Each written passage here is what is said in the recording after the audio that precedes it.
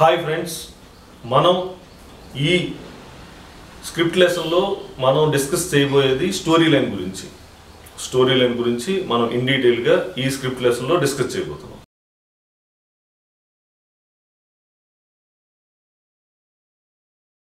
What ఈ story line అసలు ఈ స్టోరీ లైన్ ఏంటి?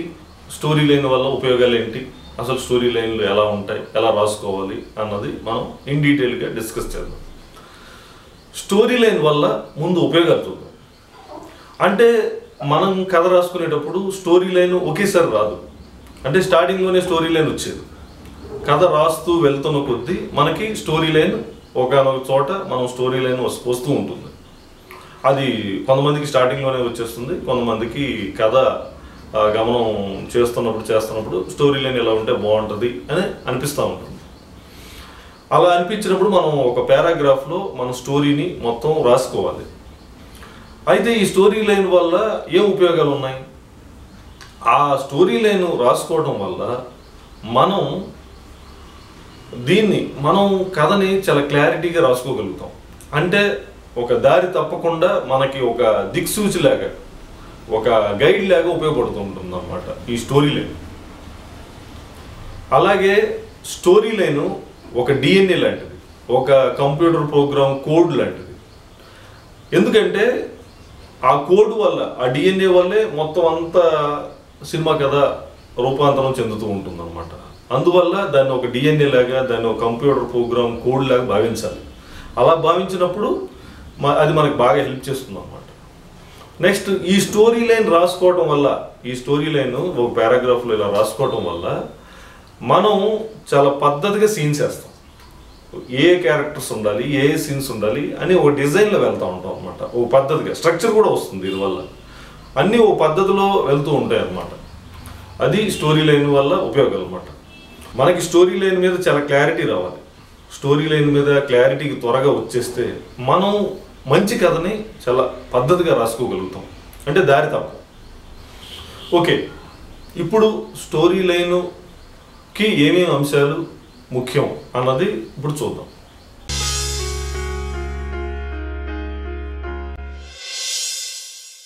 స్టోరీ లైన్కి ముఖ్యంగా ఒక సిక్స్ ఫ్యాక్టర్స్ అనేవి చాలా ముఖ్యమైనవి. అంటే ఆరు అంశాలు చాలా ముఖ్యం స్టోరీ లైన్కి.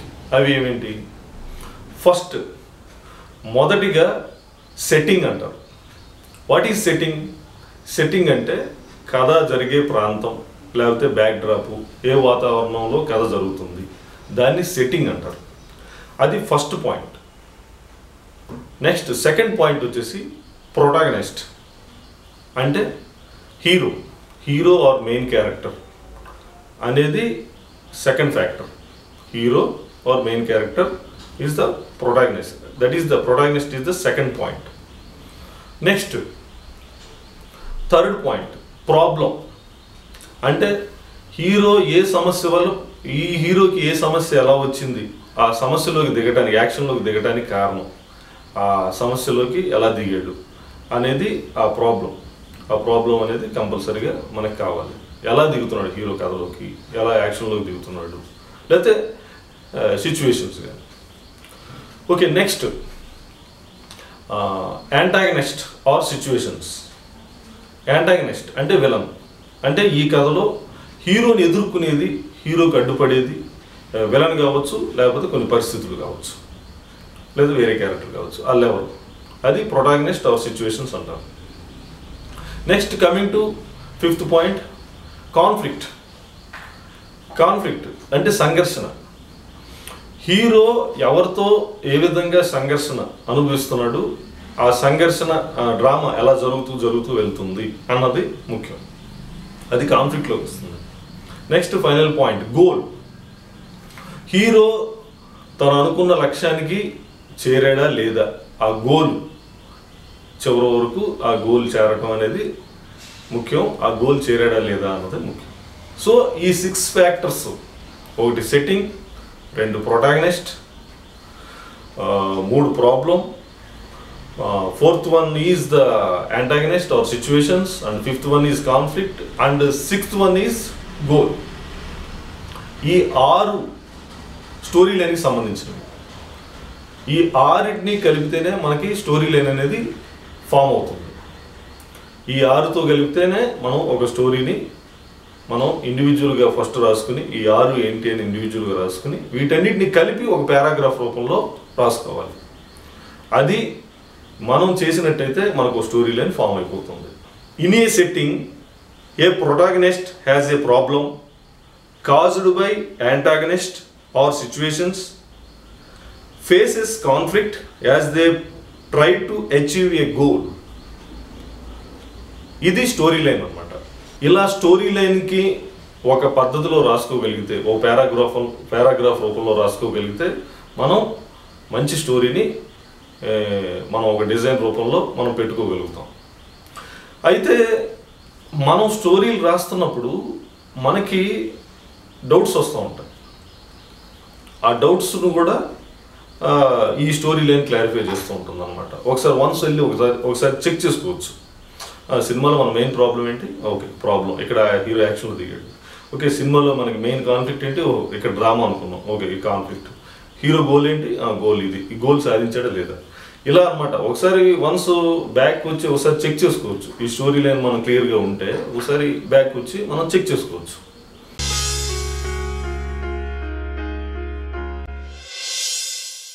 ఫస్ట్ లగాన్ కథ చూద్దాం. బ్రిటిష్ వాళ్ళు భారతదేశాన్ని పరిపాలించే కాలం అనేది సెట్టింగ్ అవుతుంది. చంపనీర్ గ్రామంలో భువన్ అమీర్ ఖాన్ అనే కుర్రవాడు ఉన్నాడు. అతను ప్రొటాగనిస్ట్ క్రికెట్ ఆడే బ్రిటిషర్ పన్ను మీద పందెం వేశాడు భువన్తో అది ప్రాబ్లం. Antagonist Britishers. క్రికెట్ గురించి ఏమీ తెలియని గ్రామస్తులను ఒక్కటి చేయటం టీం ఫామ్ చేయటం ప్రాక్టీస్ చేయడం చేయడంలో ఎదుర్కొనే సంఘర్షణలు ఇబ్బందులు కాన్ఫ్లిక్ట్. భువన్ చివరికి తన లక్ష్యమైన పందెం గెలవడం అనేది గోల్. ఇవన్నీ ఈ సిక్స్ పాయింట్స్ అనేవి మనం లగన్ సినిమాలో చూస్తాం. ఇవన్నీ కలిపితే సినిమా స్టోరీ లైన్ ఒక పారాగ్రాఫ్లో వచ్చేస్తుంది. బ్రిటిష్ వాళ్ళు లగాన్ స్టోరీ లైన్ చూడడం. ఆ ఆరు పాయింట్లు కలిపి మనం ఒక పారాగ్రాఫ్లో రాయాలి. బ్రిటిష్ వాళ్ళు భారతదేశాన్ని పరిపాలించే కాలంలో చంపనీర్ అనే గ్రామంలో భువన్ అనే ఆవేశం ఆలోచన దేశభక్తి గల కుర్రవాడు ఉండేవాడు. భువన్తో క్రికెట్ బాగా ఆడే బ్రిటిషర్ పన్ను మీద పందెం వేశాడు. దానితో క్రికెట్ గురించి ఏమీ తెలియని గ్రామస్తులను ఒక్కటి చేసి లెవెన్ టీం కింద ఏర్పరుస్తూ సంఘర్షణ ఇబ్బందులు ఎదుర్కొంటూ భువన్ తన లక్ష్యమైన క్రికెట్ పందెం గెలిచి పన్ను లేకుండా చేయడమే లగాన్ కథ. ఇది లగాన్ స్టోరీ లైన్. ఆ సిక్స్ పాయింట్స్ని ఒక పారాగ్రాఫ్లో కలిపి రాయాలన్నమాట. Next coming to Bommarillu. Bommarillu కథలో సిక్స్ పాయింట్స్ చూద్దాం. సెట్టింగ్ హైదరాబాద్లో హయ్యర్ క్లాస్ ఫ్యామిలీ వాతావరణం. ప్రొటాగనిస్ట్ హీరో తను అనుకున్న చిన్న చిన్న ఆనందాలు దక్కాలనుకునే అబ్బాయి హీరో సిద్ధార్థ. ప్రాబ్లం సమస్య. తనకు ఇష్టం లేని విధంగా తన పెళ్ళి చూపులు ఎంగేజ్మెంట్ ఫిక్స్ అవ్వడం. ఈ ప్రాబ్లం వల్లే తను మారాల్సి వస్తుంది. యాంటాగనిస్ట్ విలన్ కథలో వెళ్ళను అతి మంచి తండ్రి ప్రకాష్ రాజ్.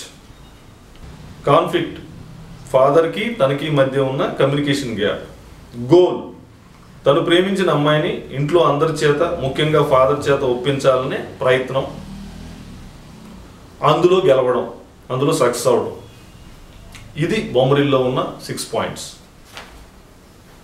ఇవన్నీ కలిపితే బొమ్మరిల్ స్టోరీ లైన్ అవుతుంది. బొమ్మరిల్ స్టోరీ లైన్ చూద్దాం. హైదరాబాద్లో ఒక హయ్యర్ క్లాస్ ఫ్యామిలీలో ఒక అతి మంచి ఫాదర్ ఉన్నాడు. అతని అతి మంచి జాగ్రత్త వలన చిన్న చిన్న ఆనందాలు కోల్పోతున్న ఒక కొడుకు ఇంట్రావర్ట్ కొడుకు ఉన్నాడు. ఈ ఇంట్రావర్ట్ కొడుకు తన జీవితంలో పెళ్ళి కెరీర్ విషయంలో ఫాదర్ శాసించడంతో ఇబ్బంది పడి ఒక ఎక్స్ట్రావర్ట్ అనే అమ్మాయిని ప్రేమించాడు. ఆ అమ్మాయిని ఇంటి వాళ్ళకి నచ్చేలా చేయడంలో ఇబ్బందులు పడుతూ సంఘర్షణ అనుభవిస్తాడు. చివరకు ఆ అమ్మాయి వల్లనే ఆ ప్రేమించిన అమ్మాయి వల్లనే ఆ తండ్రి కొడుకుల మధ్య ఏర్పడిన గ్యాప్ క్లియర్ అవడంతో కథ సుఖాంతం అవుతుంది. ఇది బొమ్మరిల్లు స్టోరీ లైన్. ఇలా స్టోరీ లైన్ని మనం ఈ సిక్స్ పాయింట్స్ పెట్టుకుని ఒక పారాగ్రాఫ్లో రాసుకోవాలి. అలా రాసుకుంటే మన కథ కూడా క్లియర్గా ఉంటుంది.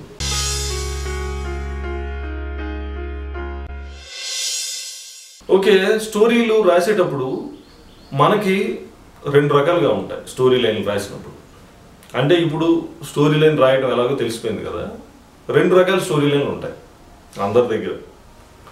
అవి మొదటి రకం ఏంటంటే excited story lines excited shocking and amazing story lines అనమాట అది first category and second category normal story lines ఈ రెండు కేటగిరీలు మన దగ్గర మనం రాసుకున్న ఏ కథలను చూసుకోండి ఈ రెండు విధాలుగా వర్గీకరించవచ్చు. ర్యాంక్ వన్ ర్యాంక్ టూ లాగా అంటే ఎగ్జైటెడ్ స్టోరీ లైన్స్ ఏంటి? Excited amazing and shocking story lines. అంటే ఈ స్టోరీ లైన్ చెప్పినప్పుడు ఎవరికైనా కానీ ఏంటబ్బా ఇది? అది భలేగుందే స్టోరీ లైను. సినిమా చేసేద్దాం. బాగుంది సినిమా బాగా చేసుకోవచ్చు లైన్ బాగుందమ్మా అని అంటూ ఉంటారు ప్రొడ్యూసర్స్ కానీ డైరెక్టర్స్ కానీ ఈ మాటలు అంటూ ఉంటారు. ఎందుకంటే అవి షాకింగ్గా ఉంటాయి అమేజింగ్గా ఉంటాయి కొత్తగా ఉంటాయి. ఫర్ ఎగ్జాంపుల్ మనకి ఎన్నో సినిమాలు వచ్చాయి. ఒకే ఒక్కడు ఒక్కడు నెక్స్ట్ మనకి వచ్చిన బ్లాక్ బస్టర్లు చాలా సినిమాల్లో పీకే కావచ్చు నెక్స్ట్ మున్నబాయ్ లగేరా మున్నబాయ్ ఆర్య ఇలాంటి సినిమా స్టోరీ లైన్ గమనించండి ఒకసారి. అది చెప్పగానే ఎలా పాసిబుల్ ఇది? భలేగా ఉంది వెరైటీగా ఉంది అని అమేజింగ్గా ఒక షాకింగ్గా ఉంటాయి ఆ స్టోరీ లైన్ ఆ స్టోరీ లైన్ చెప్పంగానే ఇమీడియట్ ఇమీడియట్గా మెటీరియలైజ్ అవుతాయి. అవి ఎగ్జైటెడ్ స్టోరీ లైన్స్ అన్నమాట. ఓకే ఈ రీసెంట్గా వచ్చిన ఆనందో బ్రహ్మ ఆనందో బ్రహ్మ రీసెంట్గా వచ్చింది హిట్ ఎలాగా? ఇప్పుడు వరకు దెయ్యాలు భయపడ దెయ్యాలు మనుషులు భయపెడుతున్నాయి. కానీ ఆ సినిమాకి వచ్చేసరికి ఆనంద బ్రహ్మకి వచ్చేసరికి మనుషుల వల్ల దెయ్యాలు భయపడతాయి. ఆ స్టోరీ లైన్ వినటంతోనే భలే కొంత కొత్తగా ఉందే అని అనిపించు అనిపిస్తుంది. అంటే అది amazing and shocking and new new story line అనమాట అవి కొత్తగా ఉంటాయి. అవి ఇమీడియట్గా మెటీరియలైజ్ అవుతాయి. Okay second normal story lines అన్నమాట. అంటే చెప్ అది అవి కూడా బాగుంటాయి. సీన్స్ వేసి మొత్తం డిజైన్ చేసి సినిమా కింద తీస్తే బాగానే ఉంటాయి. కానీ చెప్పినప్పుడు ఎక్సైటెడ్ అనిపించదు. అంటే ఫెదా స్టోరీ లైన్ ఒక అమ్మాయి బాన్స్వాడకు చెందిన అమ్మాయి ఇలాగా అమెరికాలో ఉండే అబ్బాయికి మధ్య ప్రేమ. ఇలా సింపుల్గా చెప్పామనుకోండి ఎవరికి అనిపించదు. అది ఒక సీన్లు వేసి డిజైన్ చేసి మొత్తం ఒక సినిమా కథగా ఒక డెబ్బై సీన్లు వేసి రూపాంతరం చెందిస్తే తప్ప అది ఎదుటి మనుషులకి ఎక్కదు. కొన్ని స్టోరీ లైన్ ఉంటాయి నార్మల్ స్టోరీ లైన్స్ అన్నమాట. అంటే వాటిని మనం ఎక్స్ప్లెయిన్ చేయలేం. ఫర్ ఎగ్జాంపుల్ మనకి అలా మొదలైన సినిమా కావచ్చు జర్నీ సినిమా కావచ్చు లేకపోతే రంగం సినిమా కావచ్చు త్రీ ఇడియట్స్ కలిసి ఉన్నారా కొన్ని స్క్రిప్ట్లు ఉంటాయి. వాటిని ఎక్స్ప్లెయిన్ చేయలేం. అంటే మొత్తం దానికి సీన్స్ క్యారెక్టరైజేషన్స్ అన్నీ ఆ టర్నింగ్ పాయింట్స్ అన్నీ డెవలప్ చేసిన తర్వాత అవి నచ్చుతాయి అన్నమాట. అవి అంత డిజైన్ చేయటం వల్ల అది డైరెక్టర్ ఓరియంటెడ్గా డిజైన్ చేసుకోవటం వల్ల అవి తర్వాత వాళ్ళందరికీ నచ్చుతూ ఉంటాయి. ఫస్ట్ టైమే నచ్చవు. ఫర్ ఎగ్జాంపుల్ రీసెంట్గా వచ్చిన అర్జున్ రెడ్డి. అర్జున్ రెడ్డి సినిమా స్టార్టింగ్లో ఒక స్టోరీ లైన్లో ఇది అని చెప్పలేము అలాగే మనకి వచ్చిన గమ్యం సినిమా. ఇలా జర్నీ చేస్తారు ఇలా ఒక అమ్మాయి కోసం ఇతను జర్నీ చేసుకుంటూ వెళ్తూ ఉంటాడు ఇలా ఇలా రకరకాల పరిస్థితులు ఎదుర్కొంటాడు. అని అంటే ఏంటిది? ఏముంది ఇందులో? ఎలా? అని సింపుల్గా తేల్చేస్తూ ఉంటాం అనమాట కానీ ఆ డైరెక్టర్కి అంత కన్విక్షన్స్ ఉంటాయి. ఆ కన్విక్షన్తో వాళ్ళు మంచి సీన్స్ వేసుకుంటారు చాలా మంచిగా డిజైన్ చేస్తారు దాన్ని ఒక జర్నీలో తీసి తీర్చిదిద్దుతారు అనమాట అందువల్లే క్రిష్ గమ్యం మనకు చాలా బాగా నచ్చుతుంది. అలాగే అనమాట అంటే కథకులు డైరెక్టర్ ఓరియంటెడ్ కథలు వేరు అలాగే రైటర్ ఓరియంటెడ్ కథలు వేరు. మనం ప్రొడ్యూసర్ దగ్గర చెప్పే కథలు ఒప్పించే కథలు వేరు. ఇలా రకరకాలుగా ఉంటాయి. మనం రైటర్ అయినప్పుడు కానీ మనం రైటర్ అయినప్పుడు మనం ప్రొడ్యూసర్ దగ్గరికి వెళ్ళేటప్పుడు మనం amazing and shocking and excited story lines మనం చెప్పామనుకోండి అవి వెంటనే మెటీరియలైజ్ అవుతాయి అన్నమాట. కొంతకాలం సక్సెస్ వచ్చిన తర్వాత ఈ నార్మల్ స్టోరీ లైన్ చెప్పి ఆ డిజైన్ చెప్పి మనం ఒప్పించుకోవచ్చు. అదే డైరెక్టర్స్ అయితే స్ట్రాంగ్ కన్విక్షన్ ఉన్నట్టయితే ఆ పాయింట్ మీద ఆ స్టోరీ లైన్ మీద అప్పుడు వాళ్ళు సీన్స్ అంతా డిజైన్ చేసుకుని చెప్తే కానీ ఎవరికైనా అర్థం కావు. సో అన్ని రకాలు ఉంటాయి. సో ఎగ్జైటెడ్ స్టోరీ లైన్స్ ఏంటి? నార్మల్ స్టోరీ లైన్స్ ఏంటి? ఎగ్జైటెడ్ స్టోరీ లైన్స్ చెప్పగానే ఆకట్టుకుంటాయి. నార్మల్ స్టోరీ లైన్స్ అంటే సీన్స్ వేస్తూ క్యారెక్టర్ డిజైన్ చేస్తేనే ఆకట్టుకుంటాయి అన్నమాట.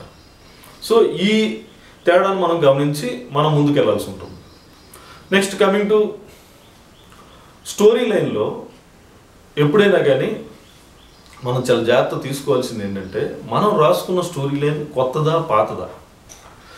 కొత్త స్టోరీ లైన్ అయితే ఏంటి పాత స్టోరీ లైన్ అంటే అయితే ఏంటి? అంటే కొత్త స్టోరీ లైన్ అయితే మనకి ఏమవుతుందంటే కొత్త సీన్స్ వస్తాయి. సినిమా అంతా కొత్తగా ఉంటుంది. అంటే ఇప్పుడు వరకు చూడని కథగా మన సినిమా మారిపోతుంది అనమాట అది చాలా ఫెచింగ్ అవుతుంది. కొత్త స్టోరీ లైన్ అయితే కొత్త సీన్స్ వస్తాయి ఆటోమేటిక్గా కొత్తదనం ఉంటుంది కాబట్టి సినిమా ఆడియన్స్ కూడా ఎంజాయ్ చేస్తారు. అదే పాత స్టోరీ లైన్ వేసాం అనుకోండి స్టోరీ లైన్ పాతది. మోసగా ఉంది. ఈ పాత స్టోరీ లైన్కి సీన్స్ వేస్తున్నప్పుడు మళ్ళీ పాత సీన్సే వస్తాయి. స్టోరీ లైనే పాతది. సో మనం మళ్ళీ ఇంకా పాత సీన్లు వేస్తాం అనుకో అనమాట పాత స్టోరీ లైన్కి కొత్త సీన్స్ వేయడం అనేది పెద్ద కళ. అది చాలా కష్టపడాలి అనమాట ఆ పాత స్టోరీ లైన్ని ఇంకా మెరుగులు దిద్దాలి కొత్త ఎలిమెంట్స్ వేయాలి కొత్త స్టోరీ సీన్స్ వేయాలి. అది చాలా కష్టం. సో ఎందుకైనా మంచిదని మనం ఎప్పుడైనా కానీ కొత్త స్టోరీ లైన్ ఎంచుకోవాలి. కొత్త స్టోరీ లైన్ ఎంచుకున్నప్పుడు మనకి కొత్త సీన్స్ వస్తాయి. కొత్త సీన్స్ వల్ల సినిమా కొత్తదనంగా ఉంటుంది ఇది ఫ్రెండ్స్ మనం స్టోరీ లైన్లో తీసుకోవాల్సిన జాగ్రత్తలు.